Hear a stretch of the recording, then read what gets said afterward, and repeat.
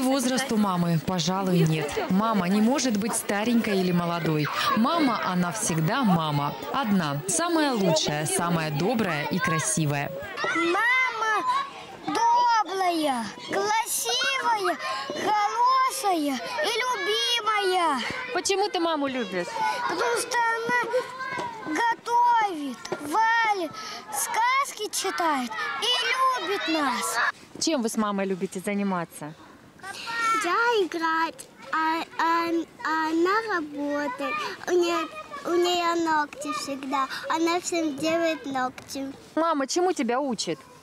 Мамочка учит меня завязывать бантики.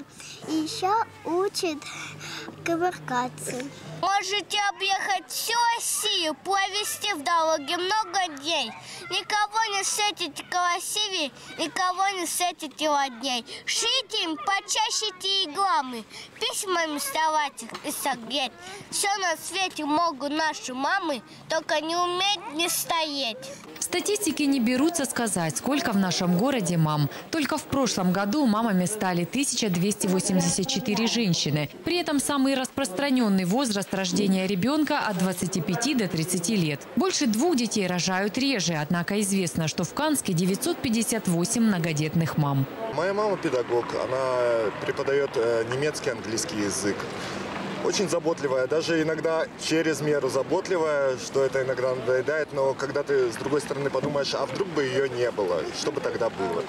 А, дай бог тебе, мама, тысячу лет. Меня мама пекарем работает.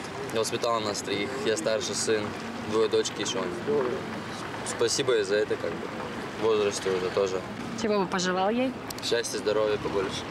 День матери был утвержден 20 лет назад. С тех пор в череде разнообразных праздничных дат, которые отмечают россияне, появился еще один добрый повод собраться за семейным столом. Ведь пока родители живы, мы остаемся детьми, и нам не грозит одиночество.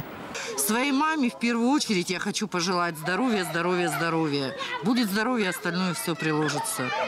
И всем мамам, не только моей, всем мамам на земле здоровья, счастья, мира, любви, благополучия. Всего самого наилучшего, доброго, чистого и светлого. Ольга Ванеева, Вячеслав Морозов, телекомпания «Канск», Пятый канал.